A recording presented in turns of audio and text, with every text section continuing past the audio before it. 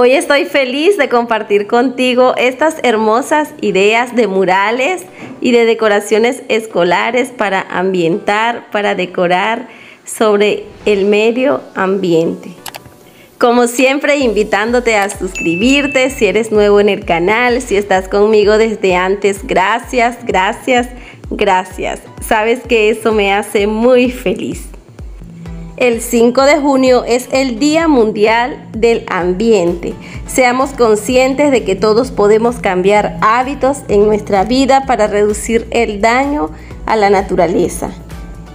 El medio ambiente es todo lo que nos sustenta y nos permite desarrollarnos como civilización.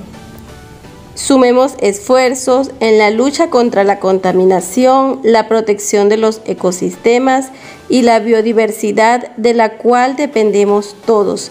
Nuestro planeta es la única nave que nos acoge los 365 días del año.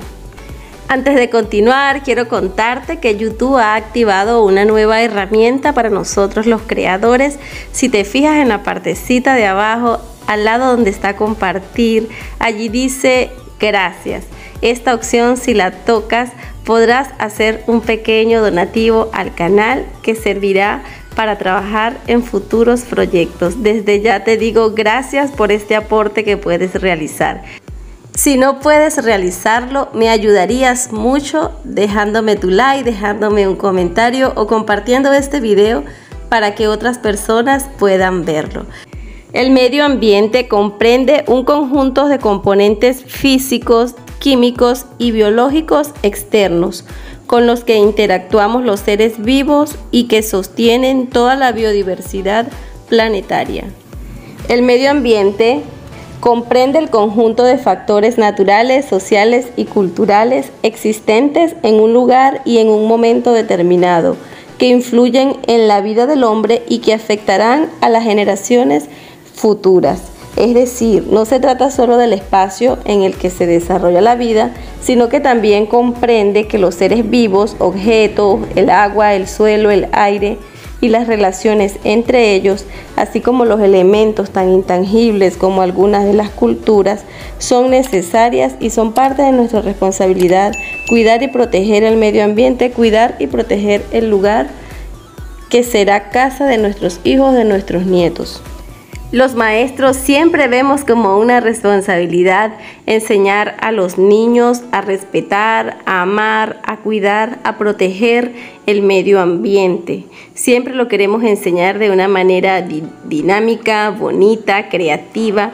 Por eso he traído para ustedes esta selección de ideas para que ustedes puedan tomar de ellas la que más les guste, la que más les agrade y así ustedes puedan compartirla con los niños en su aula de clase. Una manera muy práctica de cómo podemos enseñar a los niños al cuidado del medio ambiente es contándole que miles de seres vivos, como las abejitas, trabajan incansablemente para ayudar al medio ambiente a ser sustentable para todos. Aún así, cada día hay más polinizadores en riesgo de desaparecer para siempre. Las abejas han sido consideradas una especie prácticamente imprescindible. La reproducción de la vida en muchos ecosistemas, gracias a su papel en la polinización de las plantas de alimentación, es netamente necesaria. Es urgente que todos sepan y conozcan el gran trabajo que realizan las abejas por el planeta. El día que estemos dando la clase del cuidado ambiental o celebrando el 5 de junio, el Día del Medio Ambiente, podemos enseñar a los niños, decirles que cuando lleguen a casa apaguen las luces, que no dejen que el agua se bote, podemos enseñarle gran cantidad de cosas. Y ya vamos a ver que el siguiente día, el día 6, cuando los niños lleguen a la clase, nos van a decir, maestra, ayer cuando llegué a la escuela, a la casa, apagué todas las luces, mi mamá me preguntaba que por qué yo apagaba las luces y yo andaba apagando todo, cerrando la pila y entonces hasta los mismos representantes te van a contar las cosas que realizan los niños. Te lo cuento con experiencia porque así me pasó el Día de la Tierra, cuando tenía a los niños aquí en la clase, les estaba diciendo las cosas que ellos podían hacer en la casa para ser unos héroes del planeta. Y al siguiente día estaban los padres contándome, ayer estábamos a oscura porque Isaac decía que si tenía la luz prendida no iba a ser un héroe del planeta, cerraba las pilas, cuando nos íbamos a cepillar nos cerraba los grifos y así cantidad de anécdotas. Entonces con esto estamos nosotros dando nuestro aporte al planeta a través de unos niños pequeños. Son pequeños, pero ellos son los que están en casa y son los que saben si se bota el agua, si hay una luz que está prendida innecesariamente y ellos son los que van a cuidar del planeta siendo pequeños. Imagínate que todos los niños desde pequeños cuiden el planeta, vamos a estar formando hombres y mujeres educados para respetar y cuidar nuestro planeta. Cada año miles de millones de toneladas de basura van directo al mar. Grandes extensiones de bosque son deforestadas, los ríos y la tierra reciben millones de litros de químicos y plástico.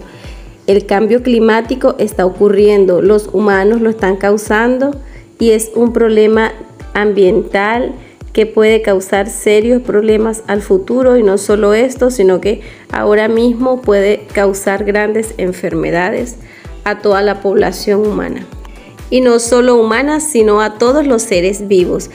Desde hace dos años he venido trabajando en una campaña no a la quema. He querido enseñar a los niños de la escuela, a los niños de la tarea dirigida, incluso a los padres a través de los afiches, los panfletos, de las actividades que realizo con los niños, a evitar la quema de basura en las casas, a evitar todo tipo de quema, ya que esto afecta la salud directamente. Lo he venido realizando porque hace alrededor de un tiempo me he enfermado de asma y cuando siento que hay humo en el ambiente me pongo tan mal que decidí trabajar con los niños sobre este tema porque no es algo que me afecte solo a mí, sino que está afectando a millones de personas, a muchos niños.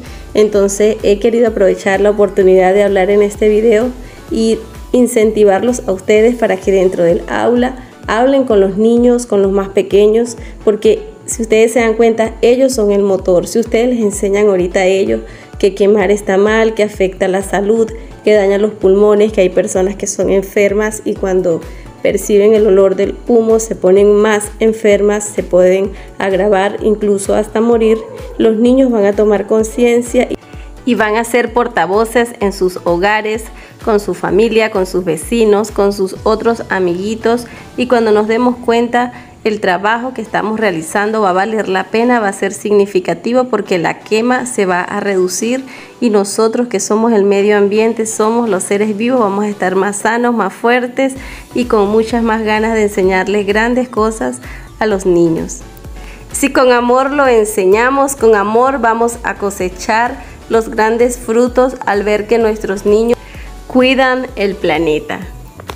Nosotros nunca podemos dejar de hablarle, de contarle que la destrucción de los habitantes es sin duda la principal amenaza que enfrenta la mayoría de las especies animales en el mundo. Los animales no tienen más remedio que adaptarse a los cambios de su entorno, proceso que altera gravemente su organismo o su ecosistema. Los lagos, lagunas, mares se han convertido en grandes bodegas de basuras acumuladas, los suelos han sido contaminados por plaguicidas, pesticidas, erosión por construcciones urbanas, deforestaciones, incendios, entre muchas cosas más. Los ríos son apenas pequeños chorros de mangueras circulando como agentes tóxicos debido a que muchas personas los ocupan como baños, lavanderos, inodoros o excusados. No tendremos una sociedad si destruimos el medio ambiente. Gracias por acompañarme hasta el final de este video. No te vayas sin suscribirte, sin activar la campanita de notificaciones para que YouTube te informe cada vez que suba video. También puedes dejarme un comentario contándome qué te han parecido estas ideas, de qué manera tú trabajas sobre el medio ambiente en tu aula de clase. Puedes contarme en los comentarios lo que desees. Ya sabes que me encanta leerlos. También puedes compartir este video con un amigo, con un vecino, con un primo, con un hermano, con un maestro que quizás también les sea de utilidad. Nos vemos, nos escuchamos, nos hablamos en un próximo video.